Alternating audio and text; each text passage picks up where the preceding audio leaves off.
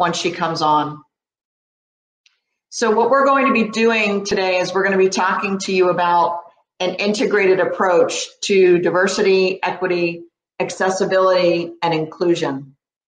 And interestingly enough, when you think about the word STEM, you often think about STEM being an integrated term, science, technology, engineering, and math. But in this session, we're going to talk to you about why STEM is not just an integration of disciplines, but an integration of approaches to make certain that all students are included in STEM and see STEM as accessible to them. So first of all, what we'll do is we'll talk to you about what diversity, equity, accessibility, and inclusion mean as distinct terms. Um, but before we do that, we were wondering is if in, if in the discussion box, you might write for us just quickly, how do you see those four terms as being different? Again, diversity, equity, accessibility, and inclusion. When you do that, you can share with us. We'll see your name, of course, um, and your affiliation, perhaps. So the four terms are used in, in the field of STEM education, and each of them means something different. So first, diversity is all of the ways that people are different and the same, whether it's at the individual level or whether it's at the group level. Equity is whether or not things are you're you're treating people fairly and you're giving them just treatment. And we're going to talk about the word just and justice later on in the discussion.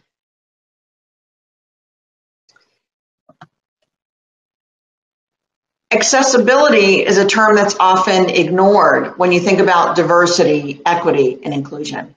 And so we'll speak about what accessibility means as well. So Shelina, um, do you want to introduce yourself? Hi, everyone. Great to be with you today. Carol, thank you so much for having me as a part of this session. My name is Shelina Ramnarine. I work at Johnson & Johnson and more specifically Janssen Pharmaceuticals as a senior manager in Janssen Business Development, Diagnostics, and Emerging Technologies. Really looking forward to the conversation today. Yeah, thanks, Shelina. And Shelina, will we be able to share slides with them, do you think? Yes. Are you able to see my screen? No. Okay. Just you. Okay. So we'll just keep going um, so that we can have a chance to, as you work on perhaps trying to be able to bring that up. Um, so in the chat box, Christine Royce, thanks Christine, defines accessibility as ensuring all students have the ability to get all the materials, resources, supplies needed and that is really important because diversity, equity, accessibility, inclusion, we've got to make certain the A is included in there. So let's give you a second, a second to take a look at um, the next slide, which gives you four different terms and four different definitions. And what we want you to try to do is try to match the term with the definition. And in the chat box, just simply pick one of them. You don't have to do all four. Pick one of them and just write down A and two or A and four to see whether or not you can match these terms with their definitions. So I'll give you a minute to do that.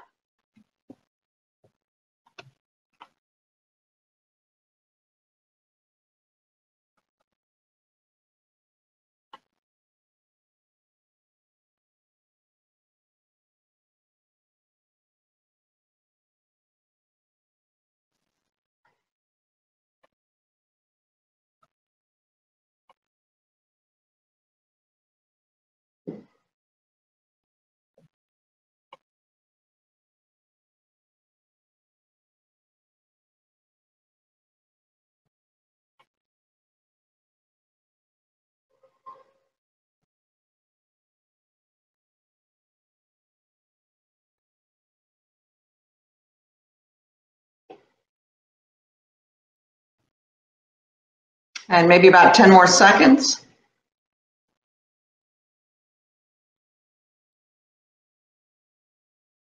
All right, so let's take a look um, at some of your responses before we go to the next slide. Um, so some of the things that you stated, so David said that B, equity, is the same as four, and that's correct. So this definition comes from the American Alliance for Museums, and the American Alliance for Museums, of which the Smithsonian is a part, says that equity is about fair and just treatment of members. Um, uh, Jakarta said that D, inclusion, is the same as two, ensuring diverse individuals fully participate in all aspects of the work, including decision making and engineering solutions.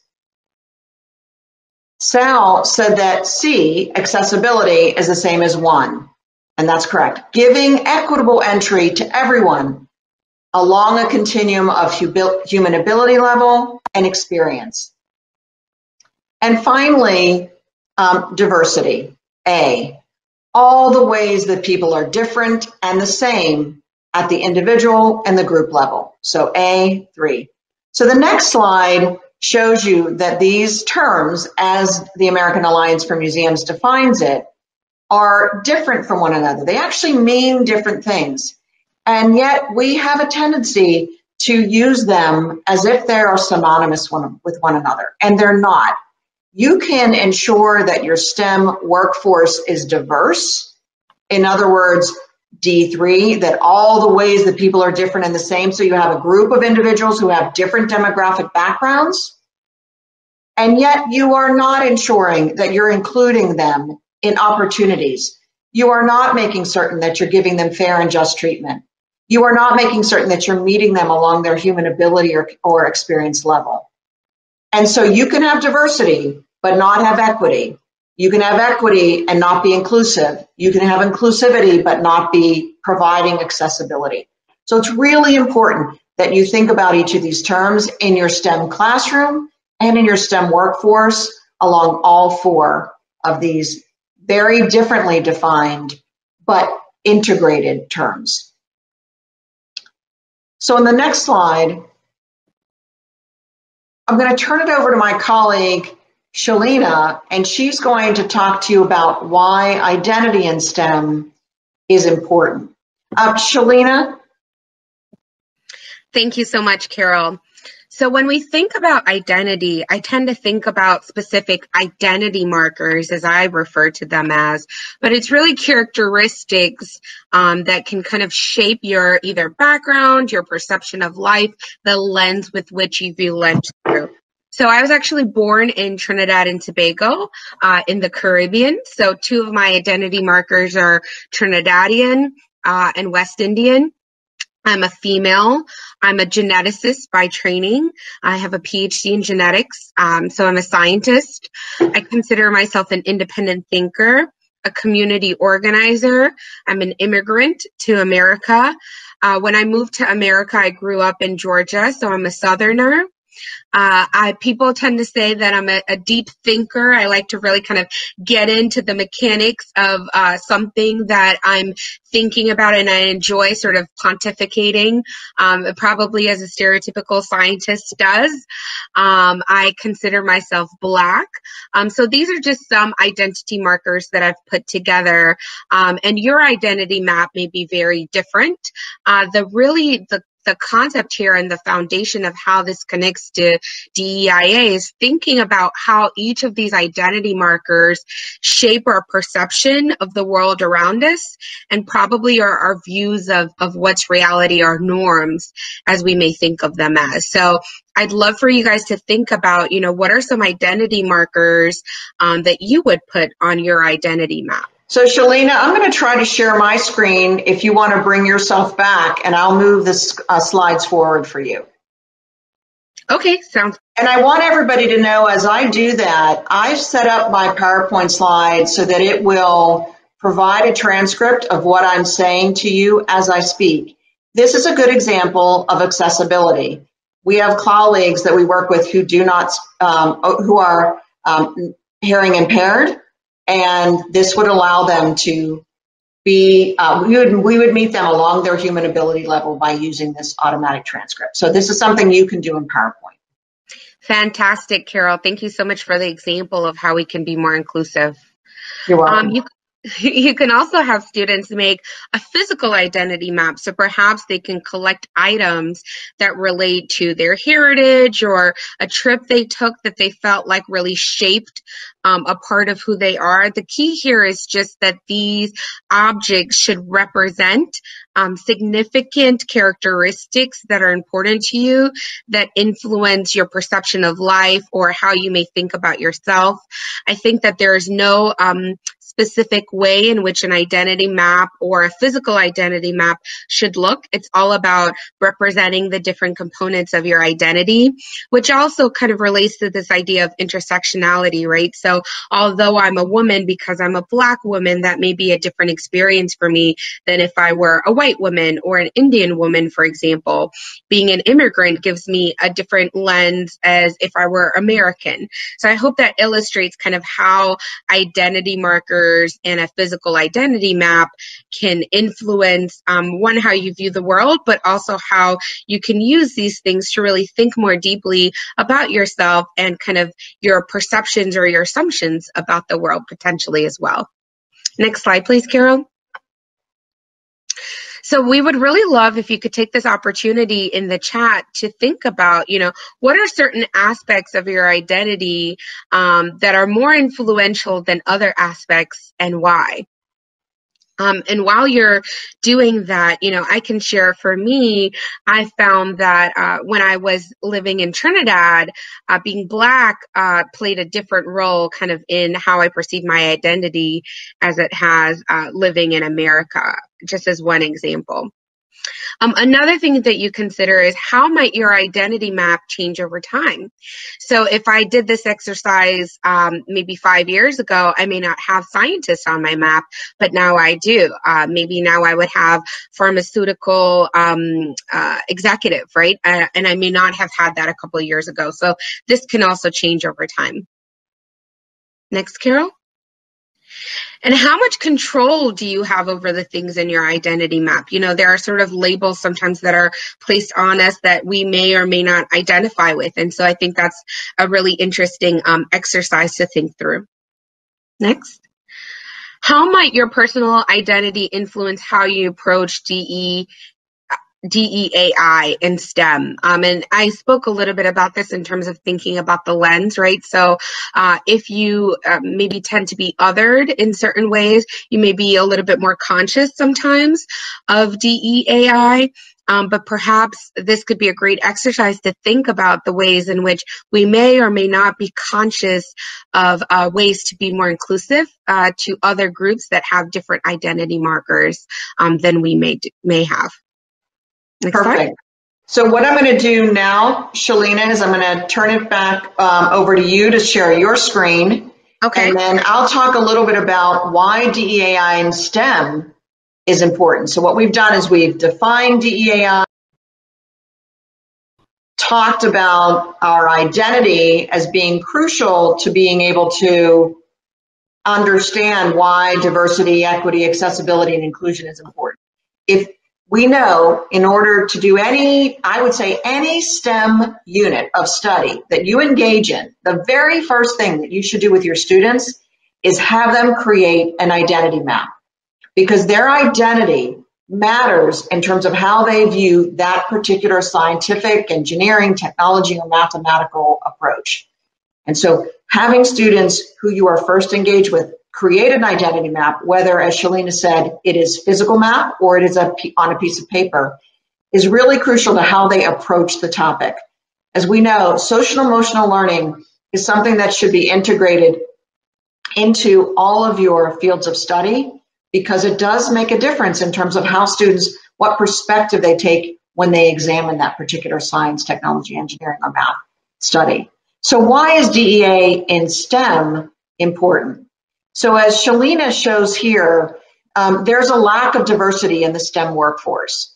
This slide, which is from the National Science Foundation, shows that scientists and engineers working in science and engineering occupations are not as diverse as they should be. The majority of the population of individuals who work in STEM fields are white, and almost 50% are white male. And yet when you look at the population overall, there is not a demographic match between the population and the STEM workforce demographics themselves. And as we know, having a diverse view set of viewpoints in a room actually makes a difference. So the question is, as we are STEM educators and in the STEM workforce, many of us in the K through 12 undergraduate and graduate fields, we are preparing students to be STEM literate, to be scientifically literate, mathematically literate, etc. Those students may, if we're fortunate, go on to major in a STEM field. They may even be fortunate enough to go on to, um, to enter into a STEM career. But the challenge is that they're not persisting. So according to the American um, Institutes for Research, as well as, as Pew Research, who did a study that I was involved in in 2018, where they studied science, technology, engineering, and math to determine why the field is predominantly white male. Why is the field predominantly white?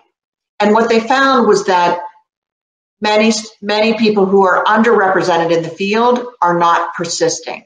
They are leaving the field. So one in six STEM PhD holders leaves STEM. Why? According to the Pew Research study that was released in 2018, people who are in minoritized groups who have an advanced degree, like our colleague Shelina, tend to feel as if they are not accepted in the field. They're passed on for their um, opportunities. Um, so they're not included in those opportunities, even though they are capable of and have the right skill set. One in five female STEM PhD holders leaves STEM. Why? Because they have two strikes against them. They are not only an advanced professional, but they are also someone who is in a minor- minoritized group because they're female. And one in five black STEM PhD holders leave STEM. So this is a challenge. Persistence matters. And how do you shift persistence?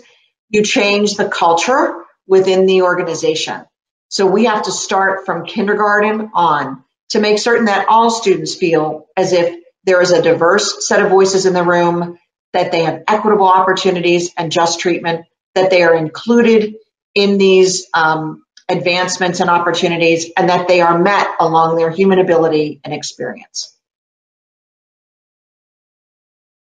Shelina, did you want to talk at all about your own experience in terms of whether or not this acceptance and field of uh, uh and this ability of persistence makes a difference, especially as a black woman who has a PhD and advanced degree in a field in which probably the majority of your colleagues also have those advanced professional degrees. Yeah, absolutely, Carol. And I'm wondering while I do that, um, if you want to present kind of the next couple of slides um, so that people could read that, you know, in between listening to my story. Um, so, as I mentioned, you know, I was born in Trinidad and Tobago. I moved to America at the age of 10. So, I attended uh, fifth grade onward um, in America. And when I first came to America, I was actually getting ready to learn algebra because they're on the British system system um, in Trinidad and Tobago. So, uh, and I wasn't used to regular tests because in Trinidad, you have kind of one big exam at the end of the year. So it's quite an adjustment for me um, in terms of you know getting tested more regularly um, and just kind of the the flow and the mechanics of the American educational system. And in fifth grade, I went to a very diverse school, and the top students um, in my grade were actually black. Um, so I felt really supported in sixth grade onward, I actually went to a fine arts magnet school in Georgia, and this school is actually constructed um, to help with desegregation. So the school was supposed to be 45% white, uh, 45% black, um, and then 10% other category. So, uh, because it was a fine arts magnet school, I had to dance, draw, act, sing, um, write a poem, you name it, uh, to kind of interview to get into the school. And so the school, uh, by that context, was very diverse uh, in some ways. Um, and uh, it was a very kind of like um, type A environment, so it's competitive in that sense. But we did have kind of diversity in the people that I saw every day in terms of my classmates. There were about 100 students, it was very small. Um, I did not have many diverse teachers. I think I had one African American male teacher who actually was a science teacher um, in the seventh grade, I believe. Um, and then I had an African American female that taught anatomy in ninth grade. Um, my other teachers were uh, mostly white, a fair mix of men and women. Um, and I really uh, never felt uh, excluded by my teachers or, or, felt like I couldn't do something. But I know that I went to a very high achieving school. So in general, there was always this narrative of, you know, you guys are at this school. It's one of the best schools in the state of Georgia. You're very capable. All of my classes were honors classes um, or AP classes. I started taking AP classes in the ninth grade. Um, so by the time I got ready for college, I already had like a semester and a half of college done. I think I had maybe 18 college credits. Um, so that really set me up very nicely. So I just want to acknowledge that a lot of ways in my background, I had a very privileged environment because I was in such a high achieving environment that there were never kind of any uh, overt or covert kind of messages um, towards my ability in that way. However, I will say that, you know, for me, race was kind of like a, a new concept um, when I came to America because Trinidad is, is kind of Indian and black.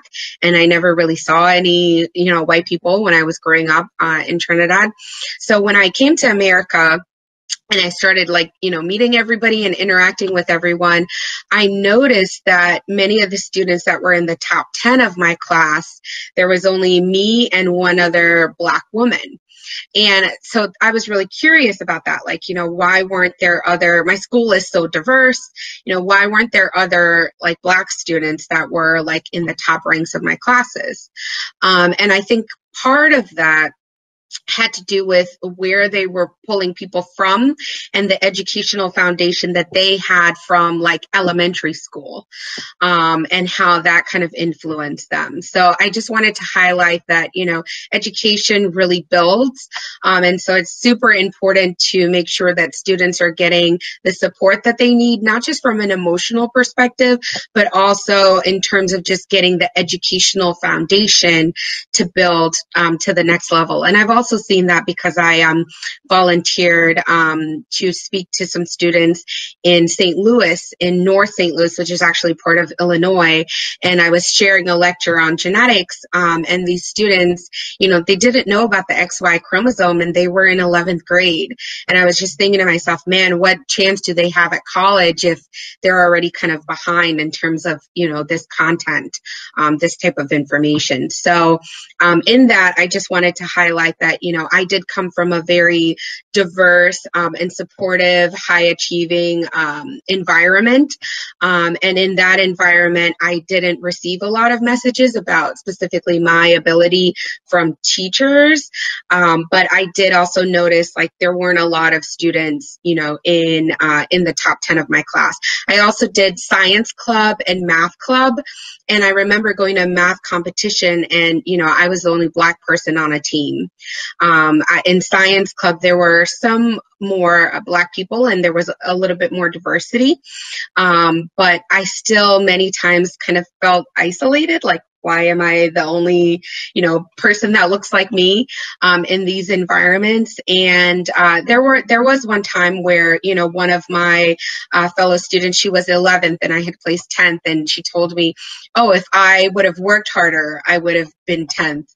Um, but I think because race was a new concept for me, I just like interpreted that as you know her issue. I didn't really understand like what that could mean for me racially.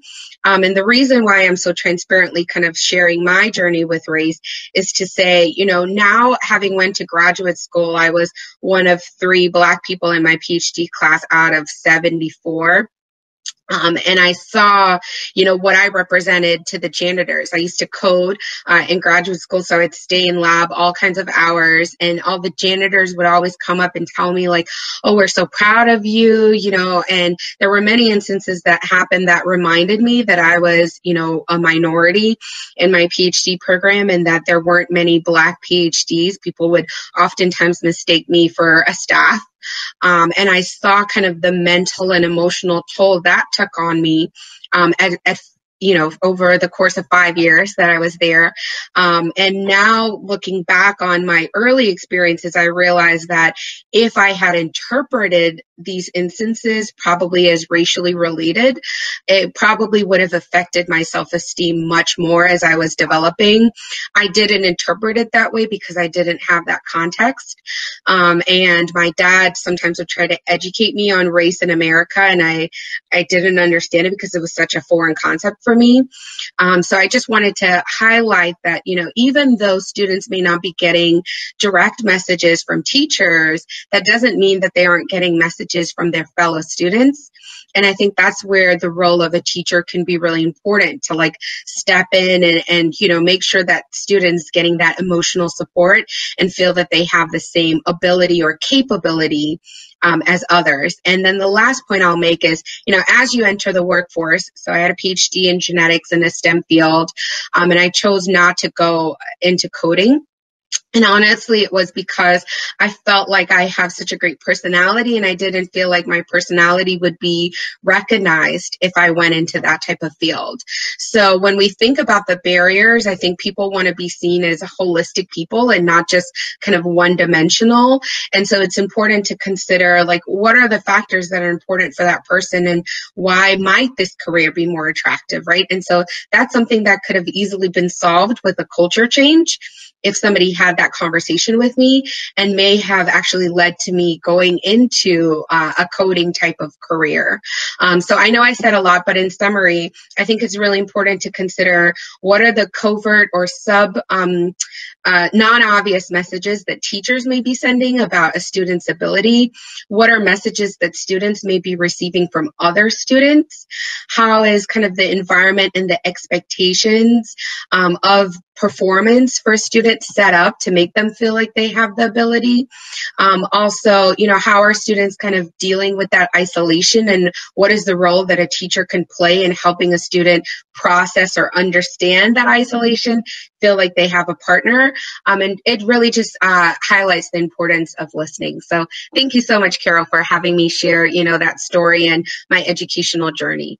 Yeah, no, I really appreciate that, Shelina. And if anything, I have to say, what you've just described is why that identity map exercise as a STEM teacher matters because your identity changed based on your context. So you may not have put down race or even a construct of race on an identity map that you created in your home country, but now that you're you've moved to the US, that shifted. So students should remember that their identity is local, is personal, local, and global. And their identity may shift based on their context. And so that's a, a wonderful story. And I think it also um, leads us into this kind of next idea about We've just witnessed why STEM in diversity, equity, accessibility, and inclusion in the STEM workforce matter. And many of the things that Shelina talked about help us understand why what we do in the classroom also matters. So there is a problem in STEM classrooms. We know from the literature that young girls tend to shy away from STEM. They see it as being agentic and not communal, being more masculine, and therefore believe it's not a field for them. Um, in high school and college, young women tend to avoid STEM majors or leave it permanently because they feel like, just as Shelina described, a misfit in the classroom. Persistence and resilience kept Shelina going, despite the fact that she was one of three out of 74 in a PhD program. Um, so we have to create those environments of resilience and persistence. African American and Hispanic students also feel this. So the question that Shelina talked about, she spoke about her teachers. In the STEM classroom today, the ratio of teachers of color to students of color is way too low. It's even lower than it was in 1954. In 1954, we had one teacher of color for every 24 students of color. Today, one teacher of color for every 50 students of color. So there's an incredible disparity amongst the teacher demographic and the student demographic. And the research shows that that actually does make a difference. So as we saw, the DEAI, when we think about diversity, equity, accessibility, inclusion in the workforce, the STEM workforce, we have to include the STEM teaching workforce in that conversation. So the student teacher demographic match in the STEM workforce is completely mismatched. The student teacher matching effects actually make a difference, according to an article that was published in AERJ, the American Educational Research Journal, in 2019. Redding and his colleagues did a meta-analysis across multiple studies, and together those studies proved that Black and Brown students in particular, their student achievement their belief in them, their, themselves, the number of um, kind of behavior challenges, all improve when the student teacher demographic match is equal. So when a student can see him or herself in her, him or her, their teachers, then their academic achievement improves, their um, behavior improves, or their perceptions of the student's behavior from the teacher improves, and their belief in themselves. Now, Redding and his colleagues did not see the same results in the Latinx population. Um, and so the article is definitely worth reading. As, as Shelina mentioned, your mentors or teachers don't always have to be demographically matched, but the meta-analysis showed that that does actually make a difference in Black and Brown communities. So I'm going to go back to Shelina very quickly to look at this identity map. And Shelina, just a very quick kind of highlight. I know we only have about, um, I believe we have about 15 minutes left because we started at 10. But if you could please um, just reflect back on your identity map. So when I think about, you know, what are some things that were really key to me in my identity map, you know, as I mentioned, I had to kind of understand uh, you know, a new culture that I was walking into and what the perceptions of me were in that culture. Um, and so that was a little bit of a, a, challenge for me. And, and when I look back, um, I think teachers just really treating me as an individual um, and and being a listening ear. I, I, think were really helpful in that. I had a lot of room to kind of explore, uh, especially in French club. I remember, you know, my my teacher in, in French would introduce us to music and art and and all of these things that you know really allowed me to kind of explore different cultures. And I think that that helped me understand my culture as well as as well as the new culture that I was coming into you. Uh, I think my my passion for science and the foundation that I got in science really came from the strong science teachers that I had that they were genuinely curious in science themselves and it really made me want to be an independent thinker um, and want to be a scientist myself. So, you know, I think what you see in your teachers and their passion for what they do is so important for students and is something that I think really sticks with students. Yeah, thanks so much, Shelina. So now we're going to um, shift to talk about how we can ensure DEAI in STEM. Um, so, uh, you know, I think one of the primary things, shut off my screen for a second. What are some of the tactics that you can use, the strategies that you can use in your STEM classroom or even in your STEM workforce to make certain that um, you are addressing diversity, equity, accessibility, inclusion in the STEM field. So first of all, our colleagues um, who are at the Center for Universal Design in Education, they talk about universal design. You've probably heard the term inclusive design, which is a more recent term that seems to be replacing the term in universal design. Inclusive design or universal design means that in, instead of providing accommodations to an individual, you are actually being proactive in designing your environment, your physical environment, your emotional environment in a way that is inclusive of all. So I'll give you a good example, and this comes from the center. Um, you're asking students to engineer a solution to a problem where maybe you're working with students in high school and they're in an architectural class and they have to provide an entrance to a, to a building. That entrance to the building can either be a set of stairs with a ramp next to it for students who are handicapped, or you can build a ramp in which all individuals enter the building up the ramp so that they are all fully inclusive, not so that students who are physically able walk up the steps and those who are in a, hair, a wheelchair have to use the ramp. That is not using inclusive design. So as a technology or engineering teacher, make certain that you're building inclusive design, universal design practices into your engineered solutions so that students are designing solutions to problems that are accessible to all and not just to those with whom they identify. And in the next slide, we're going to another potential solution is that we provide role models for students so that they can see themselves in others. As we shared with you, the teacher student demographic match is not equal in the United States. As a result, um, what we're asking is that if that student teacher demographic match does not exist, then find opportunities to provide role models to students either by highlighting the stories of people like Shelina and how Shelina progressed through her STEM pipeline, or have them read about those role models, or bring them into places in which there's a very diverse workforce so that they can see those role models at work. Uh, many of our colleagues who are in this conference who come from different corporations are providing opportunities for employees to come into STEM classrooms so that students can see themselves in others. Uh, yesterday, I had a chance to listen to Tata Consultancy Services, so our good friend Lena. Um, we listened to our colleagues from Dell. Uh, they work with EIE, and they're bringing into school districts role models, employees who can provide those opportunities. Shelina and I work together under a Johnson & Johnson initiative called WiSTEM2D, Women in STEM, Manufacturing and Design. And in those programs, we are providing opportunities for students to see the successes of those who may look like them.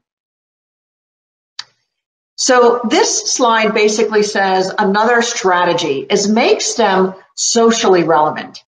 By combining key pieces of science and social science education practices, including social emotional learning. Shelina talked about the story of how her French teacher would include different cultural aspects in her classroom. And those cultural aspects matter. And we'll be sharing a handout or resource with you later that shows you how you can embed into your STEM classroom opportunities for empowerment and agency, equity and justice, open-mindedness and reflection, and that local global interconnection where students have a chance to see their identity and how their identity shifts. Now, the terms equity and justice are actually terms that we've seen used in different ways. Um, Shelina, did you want to address the next two slides? Sure, absolutely. So I, I, think this graphic is just so striking because you really get to understand these terms from a different perspective. So on the left here, you can see for uh, equality where everybody kind of gets equal opportunity. Um, and in, in theory, this sounds really good because, you know, everybody has a fair shot, but we have to remember history and the fact that history has kind of started people uh, uh at different levels. So here, history would be represented essentially by the heights of different people. So even though now everyone is getting the same opportunity, because of the history, everyone is not able to kind of access the same thing. And, and in this case, it would be to be able to see the game. So on the graphic of the right, you have kind of the concept of equity. So that's when we acknowledge, okay, historically such and such has happened. And so that's why this person is taller. And therefore we need to give the person that's shorter um, a different opportunity so that they can access um, you know, in this case, seeing the game, right? And so equity, I think, is a lot of, you know, what you hear about affirmative action or targeted programs that aim to um, supplement uh, some of the negative historical things that have happened for a specific group. So this really comes to light when I think about um, redlining uh, in the fact that, you know, some African American families were unable to build wealth through buying houses in specific neighborhoods because of banks' practices of uh, not giving loans to African American individuals in certain communities. That's just another example um, of this. Uh, and so you could think about equity and equality in this way. The concept of justice says, well, let's remove the fence completely so that we don't need to augment or supplement um, specific groups in any way.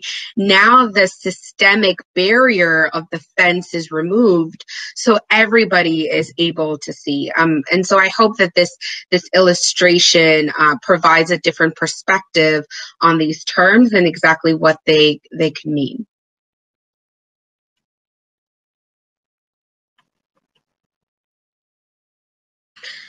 Um, and so, Carol, when we think about, you know, the key considerations of everything that we've been talking about, right? We spoke about the identity map. We spoke about intersectionality, you know, how these ideas can really come together to influence one's life, um, and especially your lens, you know, of the world. I really leave you all with these, you know, questions or takeaways you know what behaviors can you change towards an integrated deai approach in stem and how can you be an advocate for students? And I think the first part of that, as Carol mentioned, is doing your own identity map and thinking about how those identities have influenced you personally, um, as well as doing that for students. And I think that that creates a, a different perception of how best to be an advocate for them.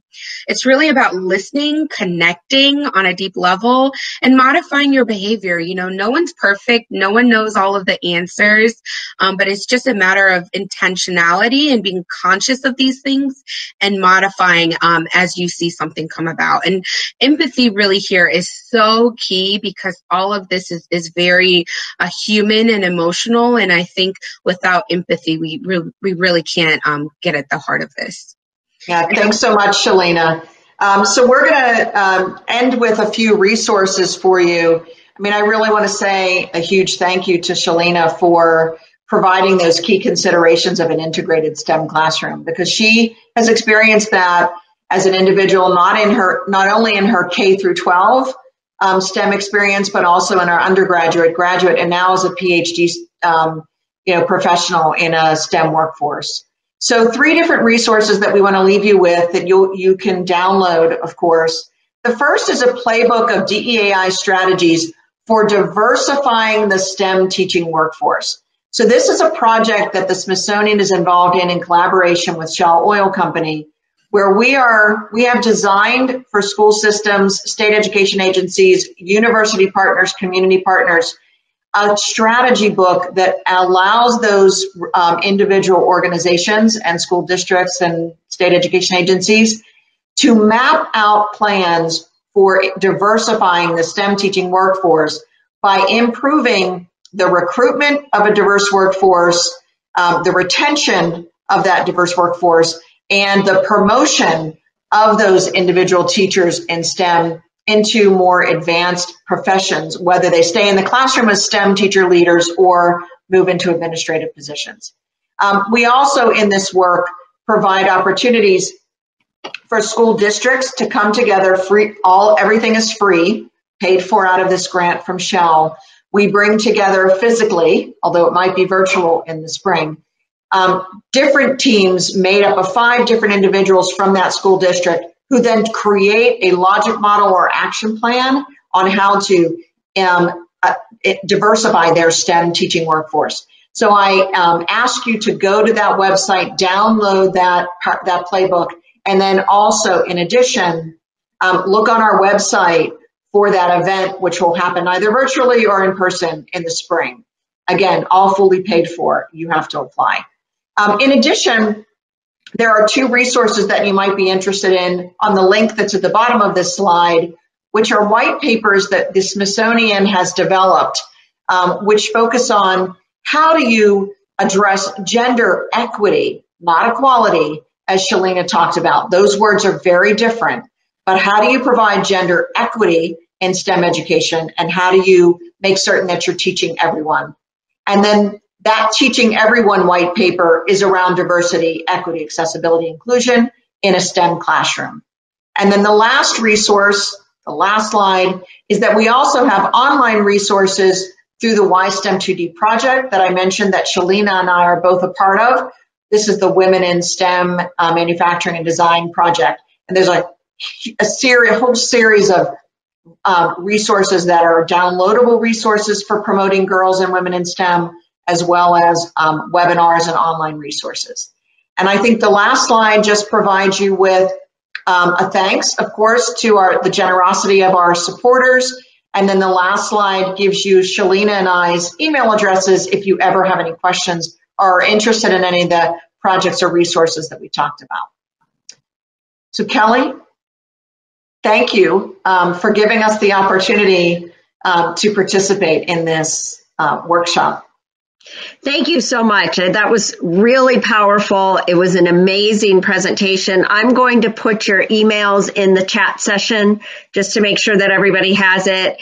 Um, one of the things I love about uh, this 10 times platform is I love those little thumbs up, and I hope you can see that you're getting a whole bunch of them. So it's great. Um, and again, you're always just full of such a wealth of information. So thank you so much. And it's just, again, I say it every time. It's just an honor and privilege to have, you know, you with us, Carol. And I really, you know, heartfelt there. I'm so glad, um, that you expanded and you had Shelina join us as well too. So it's terrific. Thank yeah. you guys. Have a wonderful day. Great. Thank you.